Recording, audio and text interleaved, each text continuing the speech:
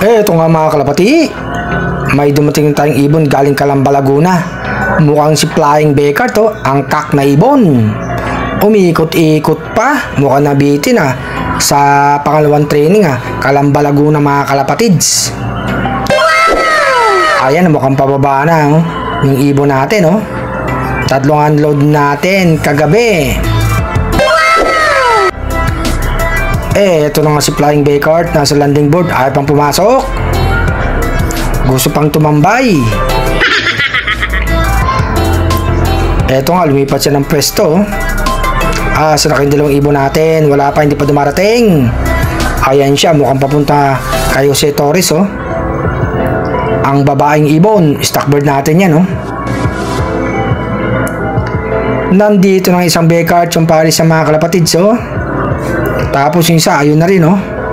3 out of 3 tayo, Kalamba Laguna mga kalapatids, ha. Susunod sa Martes, loading sila. Third training ng South mga kalapatids, oh. Sana makadulo itong ibon natin, ha, mga kalapatids. Ayaw pa nila pumasok sa loob. Gusto pang nasa labas.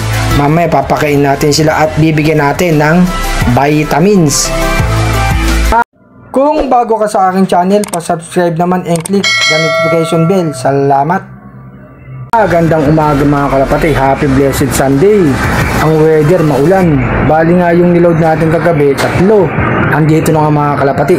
Galing silang Calamba, Laguna. Sana yung mga ibon nyo makauwi mga kalapati ha. Happy flying sa inyo lahat ha.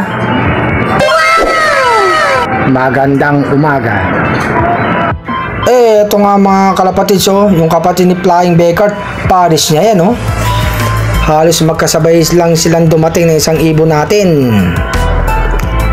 Ayan, pumasok na yan mga kalapatids. Ito naman dalawang magkapatid, Stitchelbout, mag-Paris din sila. Hindi ko sinali to sa training ng South. Ilalaro natin to sa training ng Norte next year mga kalapatids.